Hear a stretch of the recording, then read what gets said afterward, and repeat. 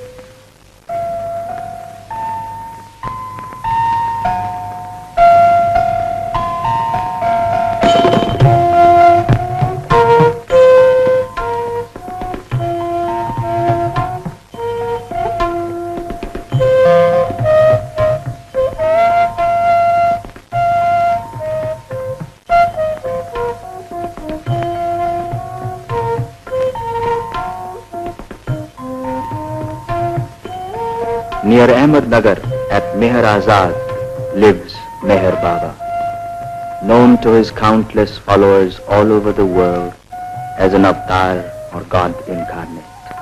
Meher Baba has completed 43 years of silence. Of late, his public appearances have been few and far between. At a specially arranged television interview with Louis von Gasteren, a famous Dutch filmmaker, Meher Baba explains.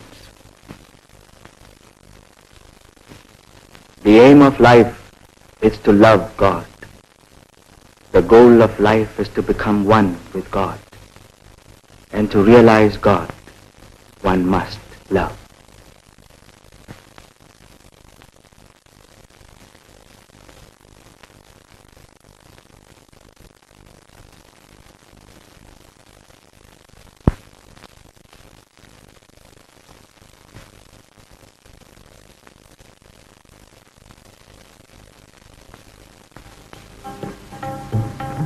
Lepers are beautiful souls in ugly cages, says Meher Baba.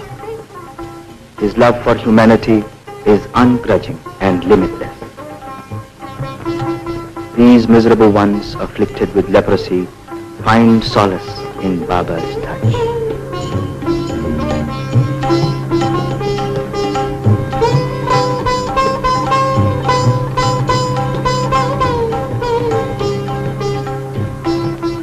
By bowing down to the lepers, I am bowing down to myself. I am in them. I am everything and everyone, Baba declares.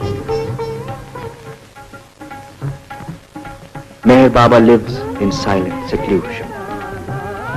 Today, however, Baba has agreed to give darshan to his numerous devotees who come from different parts of the world. Baba says that very soon